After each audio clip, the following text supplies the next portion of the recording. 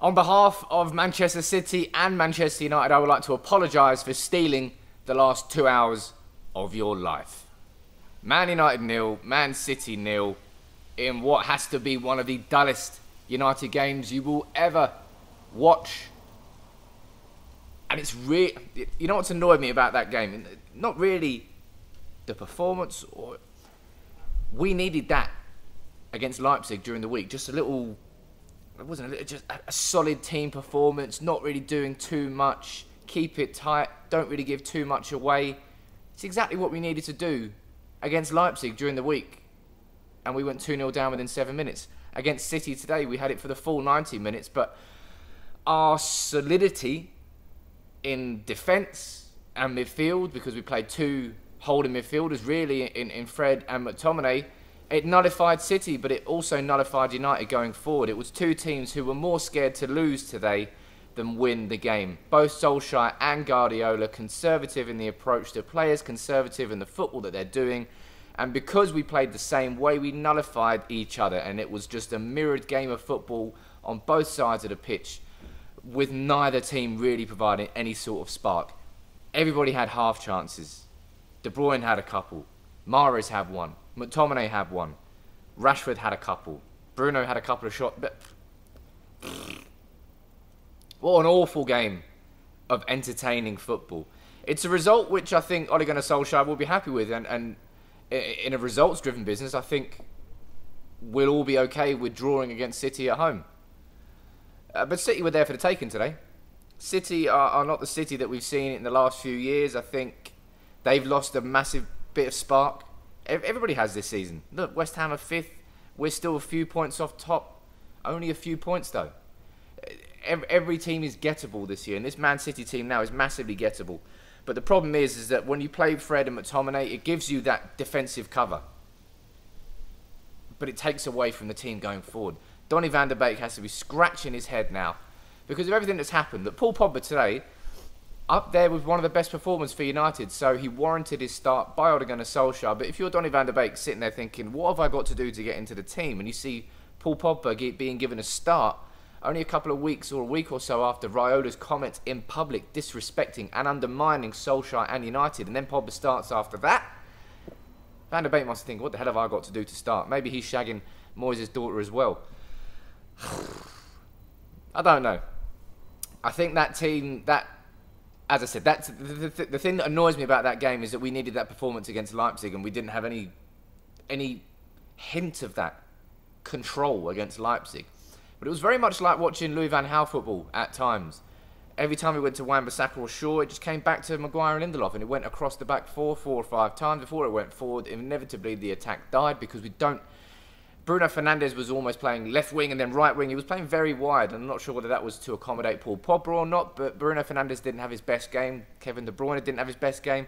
As I said, all 22 players responsible for what was a very dull game of football. Nobody really offered a spark. Nobody really offered any sort of individual moment of brilliance which, which can sort of open up these tense, nervous affairs. And derbies are nervous games. It's a match where you, you, you you're going into it, you can't afford to lose it. And I think that really reflected the football that we saw today. And it reflects where Man City and Man United are at the moment because if City were really gunning for the title, obviously they're going to be going for the title, but if City were playing how we know City can play, they would have come at us a lot more. And if United played how we've seen us play this season, we would have been much better as well. But Rashford, questionable whether he's a striker or not still. Honestly, I think Uh, if you give him no time on the ball and he has no time to think about his decision, he's much better. But when he does have time, I don't know. I just don't think he's that good in that situation. Mason Greenwood, I thought he was okay. Everybody was really okay. I think my man of the match probably was Luke Shaw. I think he really squared up. He held his he held his position very well. Few good interceptions, smart moves. He defended very well today. I think Harry Maguire defended very well, but his ability with the ball from the back is horrendous. Every time that Maguire got the ball, he would feint and dummy and then put it on his left foot, chip it over, and it would go back to Man City, and then it would come straight back towards us. We can't play out from the back with the ball, and we couldn't knock it long because we didn't have anybody big enough up front to win the ball. Had we had Cavani there, we may have seen a different last 20 minutes in a different option. But Martial and Rashford, very similar players. Greenwood, similar style of player as well. And Bruno, as I said, a muted game today. And when Bruno has a muted game, United have a muted game. And that, it's me, it's me being polite calling that a muted game. It really was crap. Not entertaining whatsoever. The Newcastle West Brom game was better than that. The Wolves Aston Villa game was better than that. And no doubt the Everton Chelsea game later this evening will probably be better than that as well. Ultimately, I think it's a result that Solskjaer will be happy with. And if you're looking at it strictly as a results driven business, that's a result that United we, we can take. We can take that and move on. Because losing today was certainly more damaging than what a win would have brought, if you know what I mean. I, I think Solskjaer, I understood why he decided not to risk that. And also, quick, quick stop here for saying, what the hell was Raheem Sterling's haircut about? It's horrendous. Looked like Coolio, but worse. But United there today, as I said, I, I felt like we could have to City. We really could have got to City, but we didn't want to. We didn't want to risk it. We wanted to have McTominay and Fred protecting the defence, and we kept it like that for the full 90 minutes. You could have brought on Van der Beek and switched it up. Solskjaer didn't want to. You could have brought on Martial a bit earlier, maybe taken off a midfielder and had a fourth attacker on, but it was a straight swap for Greenwood. As I said, it was a conservative game, a conservative approach, and a conservative result. Nil nil.